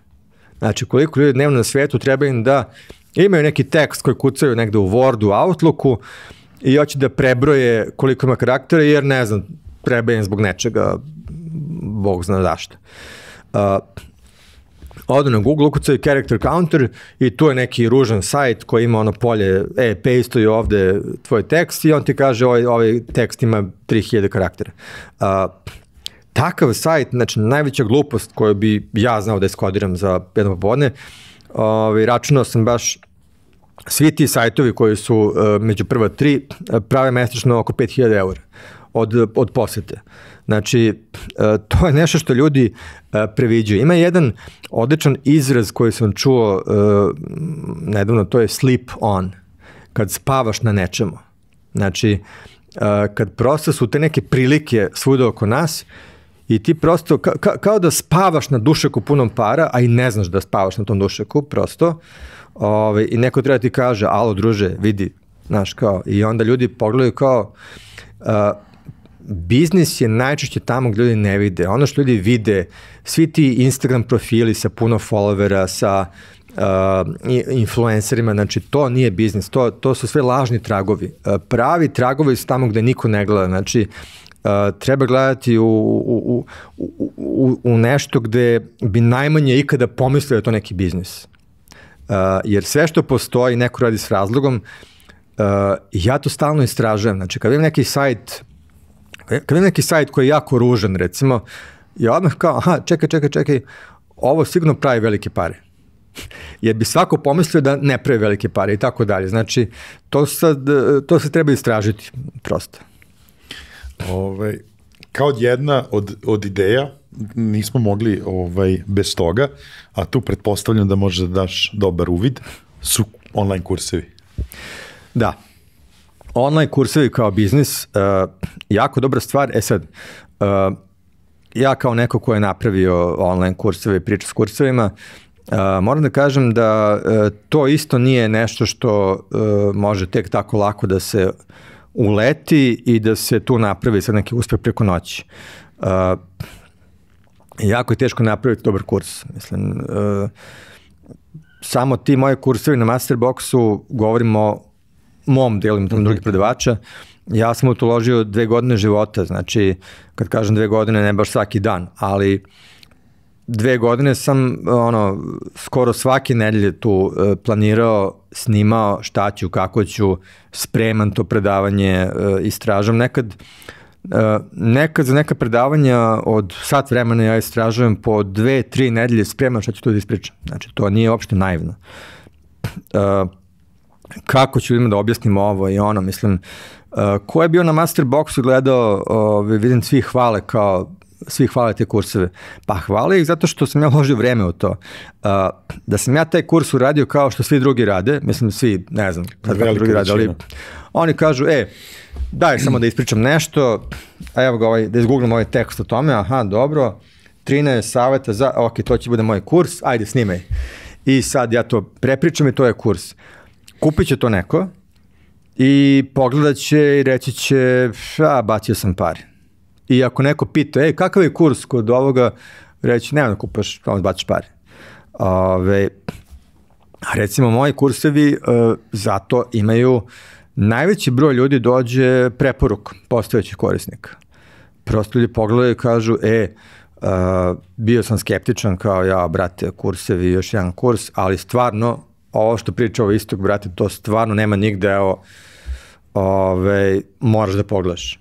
I to je uh, zato što je to meni bio i cilj. Znači, meni je kod svakog projekta, meni nije cilj da ja to nešto sad otaljam, pa ću ja kroz dobar marketing da to prodam. Napravit ću dobar landing page, neki uh, dobar prodajni uh, tekst, uh, video, pa će da se uloži u ads, pa će to ljudi da kupuju. ja nikad tako ne radim stvari. Znači, ja sve stvari koje radim uh, na početku postavim ovako. Uh, šta ako bih imao budžet nula za oglašavanje? Šta bih onda radio? Kako bih ovo napravio? Aha, pa mora bi da napravim najbolji proizvod na svetu i da ljudi da dovedem prvih deset ljudi i da oni preporučuju dalje drugima. Mislim, šta je radio Steve Jobs? Ljudi mislim bio neki biznismen. Steve Jobs nije bio biznismen. Steve Jobs je bio takozvani product developer, product guy, to zovu. Znači, 80% svog vremena on je provodio razmišljajući kako da ovaj uređaj ima zaobljene ivice i da li će da mu te ivice prave uh, u Kini ili u Nemačkoj ili ko može napravi materijal dobar za, ovaj, za ovo staklo, da ne, se ne razbije kad padne i tako dalje. Ove, znači, 80% svog vremena je trošio na to da napravi što bolje ovaj telefon. Znači, ljudi koji rade u Apple pričaju, znači Steve Jobs veći deo njegovog dana radnog uđe u zgradu Apple-a, ima jednu sobu gde se zaključaju on i on je Johnny Ive, Johnny Ive je lead dizajner koji je mhm. napravio telefon, oni se tu zaključaju i ceo dan osmišljavaju telefon. Ne bavi se Steve Jobs sastancima i e, KPI-evima i glupostima, to radi neko drugi u firmi. On je radio na razvoju proizvoda. Zato što je znao da taj proizvod će da bude uh, najbolja moguća reklama, najbolji mogući marketing za proizvod. Uh, I to je nešto što ljudi uh, ne razumeju. Znači, uh, na ekonomskom fakultetu ili u toj standardnom, standardnoj teoriji govore, kada pomenju marketing, govore oni, ona uh, 4P. Product, proizvod, promocija, Cena i distribucija. Uh, da, price i, i, i plasman, da. Šta god. Uglavnom, uh, to prvo P, proizvod, to uh, ljudi preskaču. Naprave proizvod koji je ono kao, ajde. A to je osnova. Da. Ovaj, posmatraju to kao neki trgovci. Daj samo proizvod neki, daj neku mašinu koja to štancuje, to je proizvod, šta sad, ajde to, daj da prodajemo dalje. Znači, to može tako da se radi, ali uh, ja sve što radim uh, pristupam da tome da proizvod treba bude vrhunski. I sad, svaki kurs koji radim, kad sam uzeo da radim kurs za Murovićima, recimo, uh, ja sam ih pitao, uh, ljudi, ja hoću da uđem u ovo samo ako ovo bude najbolji kurs stok fotografije na svetu. Sve manje od toga ne, nema potrebe da radimo. I oni naravno hoće to, na, i oni su se odmah složili sam. Mi smo... Zrenjaninci, šta da kažem. Pa da. Istoče, uh, to i mi hoćemo, znači, mi smo pogledali prvo sve druge kursove, videli da je sve to teško, da ne kažem šta, i ove, uh, i mi smo taj kurs snimali, mislim, ja sam dolazio u Zrenjanin, Uh, nekad je prespravam u Zrenjaninu, pa ove, nastavimo ujutru, snimali smo to mesecima. Uh, znači, to nije nimalo naivno napraviti dobar kurs. Ove, I to ljudi treba da znaju. Znači, kursovi su super biznis, ali uh, prvo, taj koji ih radi mora da bude ekspert u poslu. Znači, ja sam recimo kurs za Murovićima radio uh, tako što su oni eksperti u tom poslu, ja radim produkciju i marketing i uh, zajedno smo nam tako nekako našli u tome. Uh, ali osoba koja je predavač mora da bude ekspert. Ne može neko ko je juče to naučio kao sad ću da vam pričam o tome. To ove, može biti neko ko je naučio relativno skoro i napravio neki uspeh u toj oblasti, to je okay, isto. Ali mora da bude neko ima rezultate u tome. Ove, opipljive. Ljudi često govore to kao, a što on uh, mi prodaje kurs ako već uspešno zarađuje pare od toga. Znači, to je najglupi mogući argument koji uh, sam ikada čuo. Pa ljudi prave kurseve prvo da bi uh, zaradili opet uh, iz nekog dodatnog kanala, drugo, neko voli to. Ja volim da budem predavač. Znači, uh, meni to najviše prije od svega na svetu. Ove, tako da ima tu uh, puno stvari i treba da birate kad slušate kurseve, prosto istražite background ljudi, šta su radili, kome ćete da verujete i tako dalje. Uglavnom, e, ima na svetu hiljade i hiljade oblasti iz kojih još uvijek ne postoje dobri online kursevi. To je velika prilika. Znači, ima ljudi kod nas koji super rade razne stvari koje mi ne znamo da postoje. Ove, ako je neko marketer, uh, treba da uh, pronađe, skopa te oblasti, skopa te ljude i kaže, ej, aj radimo, aj snimamo kurs. Znači, to je, to je priča. E sad kad si ovaj pomenuo to, ostalo nam je još jedna uh, oblast ovaj uh, gde, gde možemo ono ljudima ljudima pomoći kada si rekao postoji mnogo oblasti ovaj da. iz kojih nema kurse, a to su uh, to je pojem znači niša i mitova o o nišama. Da. Pa uh, E, takođe ta, ta priča o nišama i dalje je aktualna, znači da treba ući u neku nišu, to je sve okej. E, ono što su neki mitovi o tim nišama, prosto e, prvo e, nije, e, nije svaka niša jednako e, dobra, nije svaka niša jednako isplativa. E, ključna stvar je znači e, da li mi da uzmemo da radimo neku nišu što je neka naša ljubav ili neku nišu koju smo prosto tako našli, pa je isplativa, nas to uopšte ne zanima, ali smo videli da postoji kao uh, potencijal za zaradu.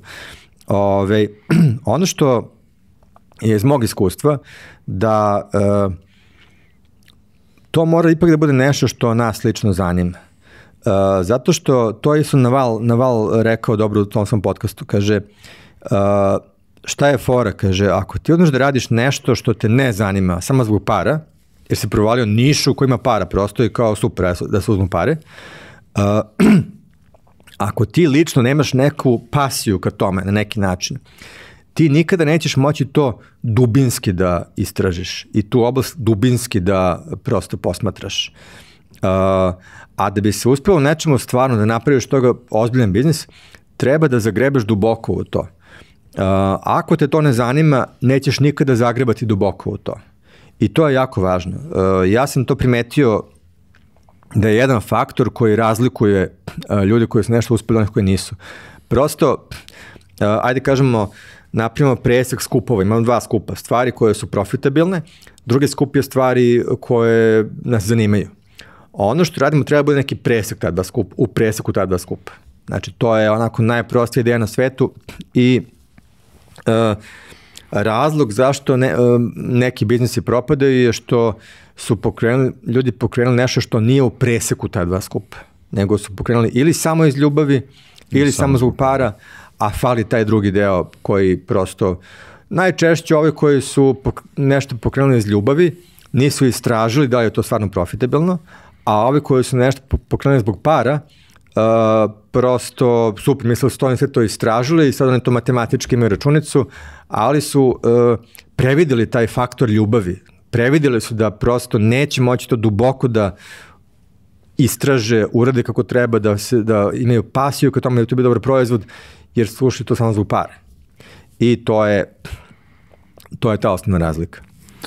E, za kraj, ovaj, ostalo nam je ono lepo smo se raspričali, ovaj, u stvari drago mi je što, što si se ti ovako raspričao na, na ovu temu, jer mislim da smo jako puno ovaj, uh, dobrih stvari rekli koji će, koji će koristiti pre svega onima koji razmišljaju da. u pravcu. Ovaj, ide, da, ide ovo u grupu odmah, mislim da će biti ovo viralno, da. ovaj, ali uh, na kraju je ostala po meni jedna jako važna uh, celina koja fali nama kao da kažem, pre bi rekao podneblju nego, nego narod, mislim da je to stvar podneblja i regiona, ovaj, da. E, a to je ta psihologija preduzetnika. Sad, pošto mm. smo se raspričali, da, da te zamolim da probam u desetak minuta da objasniš, ovaj, da objasniš šta sve to spada kod, e, pod psihologiju preduzetnika, odnosno taj preduzetnički mindset. Pa evo mogu da kažem prvo, uh, koji su najčešće bagovi koje vidim kod uh, potencijalnih preduzetnika. Znači, uh, pošto sam se na ovim mojim kursevima sada nagledao već nekoliko godina, sad već uh, imam, kako da kažem, uh, uzorak, gledam neke ljude godinama šta sve pokušavaju, uh, kod mene su na kursevima, vidim šta pišu i tako dalje. Ima, ima puno ljudi koji se vrte u krug, koji uh, imaju problem recimo s nekom prokrastinacijom, ne mogu da se pronađe ni u čemu konkretno, sve tako nešto pokušavaju, stalno se hvataju za nešto novo. Uh, sad neko objavi odjednom, e, ljudi, ovo je super biznis, oni kao, e, super, ja prekidam sve i sad ću krećem to i tako dalje. Znači, a opet ni to ne krenu. Nego nekako, znači, prokrastinacija i gubitak fokusa, mislim da je to razlog broj jedan što ove, što neki ljudi u ovom poslu i dalje ne naprave ništa konkretno, nego sve tako kruže kao kiša oko Kragujevca, oko nečega. Znači, jako je važno, mislim, prvo to šta radimo, opet se vratim na to, treba jako dobro istražiti šta se radi, a, i da bude u onom preseku stvari koje su naša ljubav i koje je profitabilno. Ako je u tom preseku, tek onda možemo da govorimo o tome da treba da se eliminiše prokrastinacija i tako dalje, a najčešće uz, uzrok te prokrastinacije je zapravo to što neko radi stvari koje su van tog preseka. Ove što radi samo zbog para, mrzi ga da ustane iz kreveta i tako dalje jer ga smara taj posao, ove što radi samo iz ljubavi, super krene i sa jako puno elana, ali kad posle godina, posle godinu dana vidi da nema tu love od toga, onda i on kljokne i mrzi ga i tako dalje. Znači, treba da u tom preseku i to je najverovatnije pr, uh, uh, rešenje za prokrastinaciju i uh, ceo taj problem da ljudi tako ne mogu da pronađu sebe nikako u nečemu i tako dalje. Drugo, E, ima ljudi koji mi govore stalno da ne mogu da nađu ideju, prosto to nije tačno. Znači, ideja je svuda oko nas, nego uh, izgleda da je problem s tim ljudima, tu sad, ne znam, možda postavim neki life coach, pa malo to istražim detaljnije, ali deluje mi kao da se oni plaše da se ufati za nešto konkretno.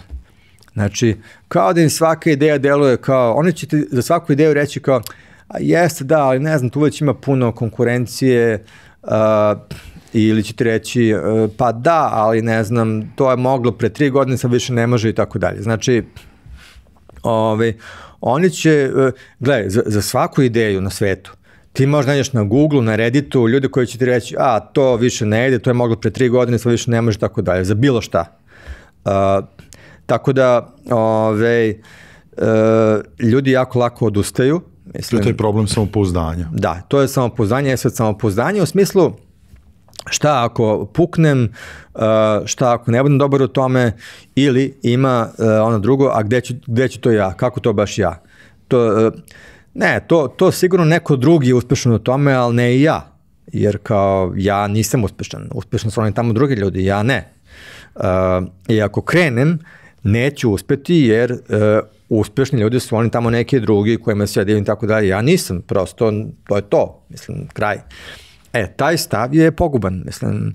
Uh, I taj stav sam viđao kod mnogo ljudi. Uh, sad kažem, uh, nisam life coach, ali toliko viđam te stvari da možda i postanem, ne znam. Ako nađem neki način da, da stvarno pomognem, pomognem ljudima koji imaju taj problem, a da nije neki uh, ove, uh, coaching, uh, da kažem, nek, nek, neki ono besmisleni ove, pristup. Ako nađem neki stvarno način da e, na neki način treba da aktiviram, što da ne, ali m, vidjet ćemo, možda u budućnosti nekoj. No, to je ovaj, ono što sam malo preko kad smo ulazili sad u ovu poslednju celinu, taj uh, da kažem, po meni problem podneblja, znaš, sad tu ima dosta, znaš, ima tog samopouzdanja, e, problem da neko preuzme odgovornost, pogotovo yes. taj strah od neuspeha kod nas, kod nas se neuspeh jako tragično shvata, ovaj, ja sam skoro slušao kao tu neku priču, taj problem tog preduzetničkog mindseta, e, da kod nas tek dolazi sada prva generacija mladih preduzetnika i da su to ljudi čiji su roditelji početkom 90-ih osnivali one prve, prve Aha, privatne firme. Jeste, Znaš, jeste, jeste. I da su to, da kažem, te, ta, sad ti klinci čiji su roditelji Tako se je. ovaj usudili, znaš, i da su to sad ti prvi mladi ljudi, bravo, prva bravo, generacija bravo. koja, znaš, ima taj kliker, bravo. znaš, koja nema problem da preuzme odgovornost, koja nema problem sa samopouzdanjem i koji nema problem ono sad za neod. Mislim, svi znamo šta je bilo kažem, ljudi naši godine, znaju šta je bilo 90-ih, ono, znaš, Jeste. mislim, koliko je tu bilo i padova i tako dalje, ovaj, a su ljudi bili primorani da pokušavaju iznova, iznova, E. jer je bilo pitanje opstanka prosto. A, zato recimo Izrael ima jedna odli- odlična knjiga, zove se Startup Nation, Startup Nacija o Izraelu. I isti razlog, a, lik koji je novinar napravio istraživanje zbog čega najviše uspešnih startupa na svetu nakon Amerike i Silicon Valley, broj dva na svetu je Izrael.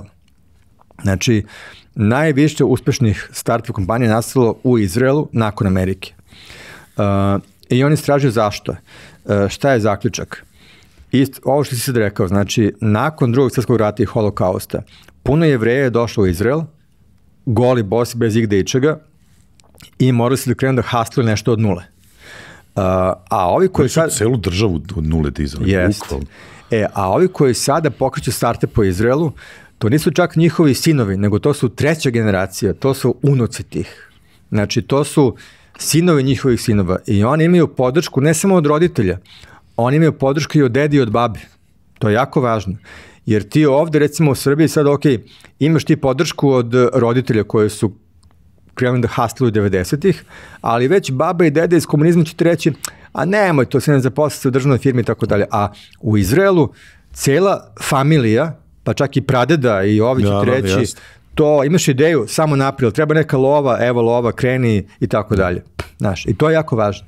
Dobro, pa, eto, ali vidiš i tamo je njihovo okruženje ih je odvelo u, jedno, u jedan sasvim drugi ovaj pravac razvoja, jer smo i sa Izraelom uporedivi, dobro, ajde, njihova dijaspora je bila daleko jača i tako dalje, ali prosto oni su od nastanka države u tom nekom neprijateljskom okruženju. Jeste. Mislim, non stop, ono, non stop u ratu broj Da. stanovnika je tu negde takođe ovaj uporediv ono ovaj Jest. i dosta se pominje Izrael ono kao kao neko ali vidiš ti se po- pomenuo ovaj i, i naslov jedne knjige. E došli smo do, do, do samog kraja. Ovaj e, malo smo možda malo smo možda Probili sve rokove? Probili, ne ne ne, dobro, bile bile još par epizoda ovaj ovako slično, ali meni se iskreno i lično sve ovo ovaj jako sviđa što si ti danas ispričao i verujem da će biti veoma korisno svim ljudima koji ovaj eh, razvijaju u ovom pravcu i iskreno se nadam eto i da će ova epizoda ovaj do, doprineti tom nekom daljem razvoju cele te tvoje ideje ovaj da da pomogneš mladima koji žele da rade eh, nešto za napolje odavde Ovaj za sam kraj isto ću te pitati dosta stvari si ti pomenuo ovaj u razgovoru u smislu nekih naslova ljudi koje se ovaj koje možda treba pratiti. Da li bi za kraj imao uh, da ljudima preporučiš nešto, da preporučiš neku knjigu, podcast, neki website, svakako odmah da ti kažem, to ti nisam rekao pre razgovora, možeš mi naknadno dostaviti pa ćemo staviti ovaj u opis, tako da nije Da. problem ako se ne setiš sada svega. Ne, evo, može, može. E, Pa, e, podcast koji ja redovno slušam je My First Million, e, MFM podcast. Ove, e, vode ga e, dvojice ljudi, mislim, istražite o njima ako hoćete. Uglavnom, e, ove e, biznis ideje koje ja sad ovde sam naveo, čisto paušalno, oni s- u svakoj epizodi bukvalno pričaju o tome, kao, e, upoznao sam sad ovog farmera koji ima newsletter. Ja sam e, saznao kod njih za ovog farmera, na primjer. E, I ti čuješ kod njih masu tih ideja za digitalni biznis koje ti ne bi pala na pamet u sto života. Znači, nikada. I čuješ kod njih i kao, aha, ček, ček, ček, šta, daj da malo to istražim i onda kao vidiš, wow, jer moguće da se neko ovog setio i onda kažeš, aha, ček, ček, pa ovo bi moglo da se primeni na X, koje nema veze s svojim, ali niko to nije napravio u oblasti Y i tako dalje. Znači, Uh, MFM podcast, My First Million podcast je apsolutno genijalan. Uh, oni takođe imaju newsletter na uh, thehustle.co koji je besplatan. I ja sam prijavljen i na njihov uh, plaćen newsletter na trends.co ko, koji je onako još napredniji, znači oni tu uh, nalaze te neke nove biznis ideje koje neke pomenu u podcastu, neke ne pomenu, ali u tom trećem newsletteru su bukvalno sve biznis ideje koje mogu da se nađu na svetu. Eto, i kao, to je nešto što, ne znam, uh, meni lično to prija da uh, slušam dok vozim, uh, dok sam u teretani i tako dalje, zato što uh, dobijem uvek neke nove informacije koje nisam znao. I, ove, I zato volim da prenosim te informacije drugim ljudima. Mislim, to je na kraju krajeva uh, cijela poenta svega što radim. E, nezmerno sam ti zahvalan ovaj, na, na temi, na razgovoru, na, na, izdvojenom, na izdvojenom vremenu. E, nadam se da, da ćemo ovo podeliti sa, sa što većim brojem ovaj, ljudi, malo je drugačije u odnosu na neke ono prethodne epizode, ali svakako i u kontekstu ovaj, negde naše ciljne publike, ja uvek volim da kažem da ljudi koji su negde na početku svojih profesionalnih e, karijera se e, najviše odlučuju da uđu u neku interakciju sa mnom i putem maila i tako dalje, pa evo mislim da je ovo sad, da kažem, baš njima onako ovaj, ova epizoda poklon, jer mislim da ima jako puno kvalitetnih uh, saveta, konkretnih, konkretnih stvari, a za još neke konkretnije stvari, eto, ostavit ćemo link i ka, i ka grupi na, na, na, na Facebooku. Može, super. Tako da, hvala ti još jedno veliko. Hvala tebi. Dragi prijatelji, gledalci, slušaoci, bio ovo Istok Pavlović u jednoj veoma uh, zanimljivoj epizodi i nada sve sjajnoj temi. Uh, ja se iskreno nadam da ste uživali kao i ja. Na kraju ću vas samo zamoliti još jednom da se pretplatite na naš YouTube kanal, kliknete na zvonce koje se nalazi pored dugmeta uh, subscribe kako biste dobili notifikaciju kad izađe svaka nova epizoda. Naravno, koliko više volite da nas slušate, prisutni smo na svim streaming servisima i naravno pišite mi na info.digitalk.rs. Na samom kraju, kao i svaki put zahvalit ćemo se kompanijama koje su prepoznale vrednost onome što radimo i podržale naš rad. Veliko hvala MTS-u koji je pokrovitelj podcasta u ovoj godini. Hvala veliko partnerskim kompanijama OTP banci, Mastercardu i Ideja online prodavnici. Kada pominjemo ideju, ne zaboravite na promo kod Digitalk 500 koji vam daje mogućnost da ostvarite 500 dinara popusta prilikom kupovine u idejnoj online prodavnici. Kada pominjemo promo kodove, promo kod Digitalk daje vam 10% popusta kod naših drugara iz izdavačke kuće Finesa, na čijem sajtu možete ostvariti tih dodatnih 10% popusta na već snižena izdanja a dvoje vas koji budete najbrži, najkreativniji sa komentarima nagradit ćemo sa dva primjerka knjiga iz Finesenih izdanja. Do sledećeg utorka. Ćao!